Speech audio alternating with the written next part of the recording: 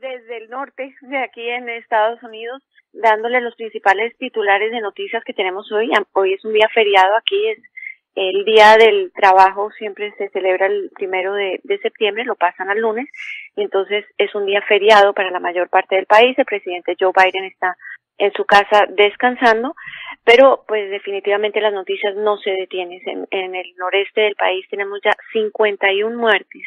por las eh, tormentas que desató el huracán Aida. Siguen y todavía hay por lo menos cuatro personas desaparecidas. Las imágenes de, de devastación son impresionantes. Empiezan a llegar cada día más imágenes de videos de, de, de celular de, de las aguas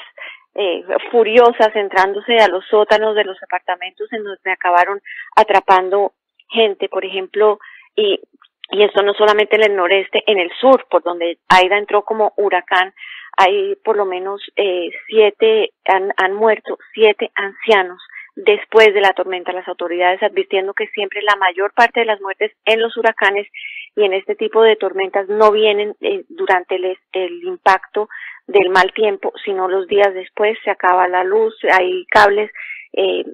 activos, la gente sale a la calle, se electrocuta, también está el uso de los de los generadores, entonces viene la el, el envenenamiento con este monóxido monóxido de carbono. Entonces la situación es trágica, se está hablando de billones, miles de millones de dólares en daños materiales y el, el gobierno diciendo que va a ayudar como puede, pero hay comunidades enteras a las que, en las que todavía no hay luz y la situación se sigue agravando. Eso por un lado. Por el otro lado, la salida de Afganistán sigue siendo una eh, controversia viva en este país.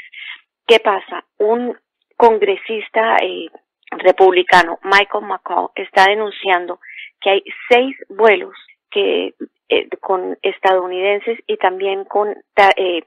afganos que ayudaron a Estados Unidos, que Estados Unidos había dicho que iba a seguir sacando de ese país una vez terminara la misión en Afganistán, pues estos seis vuelos están detenidos en uno de los aeropuertos de Afganistán. Denuncia este congresista republicano que a estas personas las tienen básicamente de rehenes,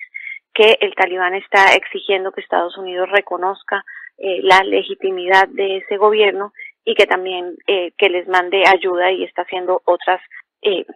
está haciendo otras exigencias. Por ahora el, el Departamento de Estado pues no confirma que tenga una situación de rehenes, pero la situación en, en Afganistán claramente se está eh, se está complicando día por día y esta negociación o este trabajo conjunto del talibán y Estados Unidos pues parece que se empieza a, a desaparecer totalmente ya también empiezan a llegar imágenes de centros de estudio en que las mujeres están ya totalmente cubiertas y separadas de los hombres y una cantidad de situaciones que ellos habían prometido que ellos habían cambiado, que eran un grupo totalmente nuevo, eso genera preocupación, está aquí en todos los titulares. Y bueno, y el coronavirus, eh, este fin de semana largo nos enteramos que ahora ya Estados Unidos ha sufrido un total de 40 millones de casos de coronavirus y más de 650 mil muertes en momentos en que las muertes han ido aumentando en 49 de los 50 estados del país.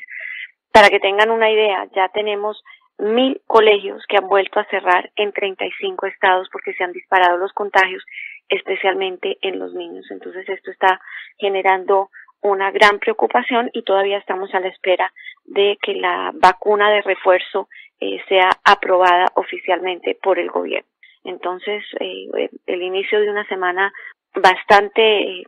turbulenta que va a cerrar este sábado además con los, la celebración de los 20 años de eh, los ataques terroristas del 11 de septiembre. Eh,